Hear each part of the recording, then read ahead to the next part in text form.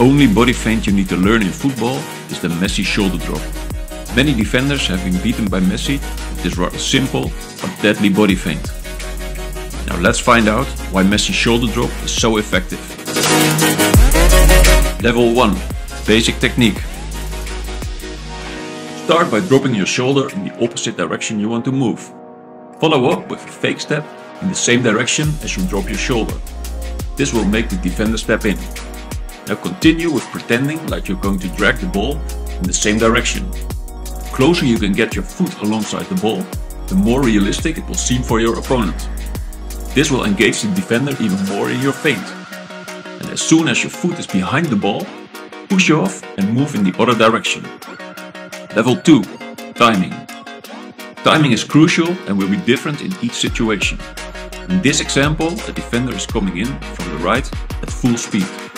This is why Messi has to start his feint earlier to make sure the defender does not come too close. Distance should be a bit more than one step, causing the defender to stay out of reach, but just close enough that he thinks he can conquer the ball and try to step in. Messi also keeps his eyes closely on his opponent. This gives him the information if the defender responds as expected to the body feint. Only then he will change directions as planned. Change of direction should be into space.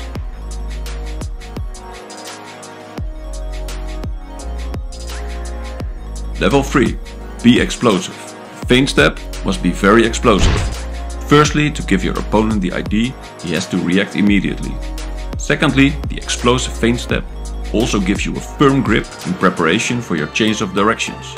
The change of direction should also be as explosive as possible, so the defender has less time to adjust and can't catch up with you. Level 4. Persuasion. Some people compare Messi with a magician. They actually have a point. If Messi makes you believe in his feints. Messi's shoulder drop feints are executed so fast and with so much persuasion, his whole body and his whole mind participate in the feint. It's almost as if he believes it himself. That makes it very hard to see if his moves are feint or real. This combination of four elements makes Messi's shoulder drops extremely hard to defend.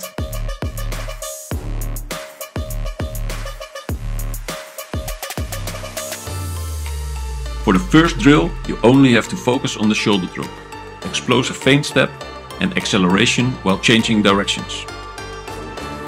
Repeat this until you master the movement.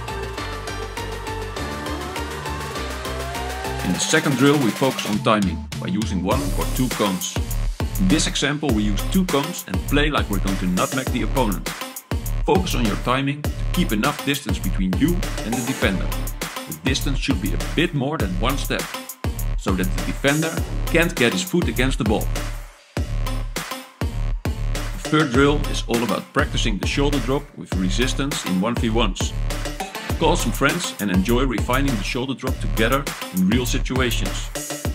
Focus on all four elements. This is a fun way to practice, which we highly recommend to prepare for real games. Thank you for sticking with us. And if you like our football tutorials, give us a thumbs up and subscribe to our channel.